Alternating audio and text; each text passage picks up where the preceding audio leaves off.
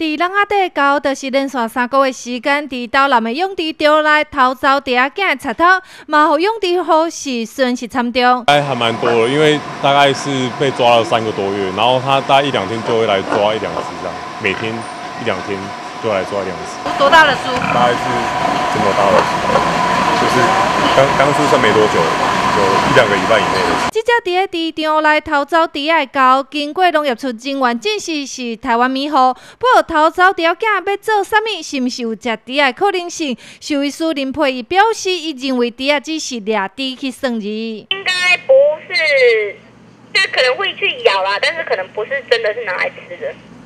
所以他是把它玩死就是了。对，有可能。其实它附近可以吃的很东西真的很多，它有一堆给条啊，还有人家种东西啊，然后它的猪猪饲料其实它也都可以吃，它可以吃东西真的是很多。然后那附近好像有民众会在那边钓鱼什么的，也都好像有，他说过他会喂它。嗯嗯嗯嗯。啊，而所以他他应该只是跟那些小猪仔玩就是了。他应该对，就是可能就是想玩。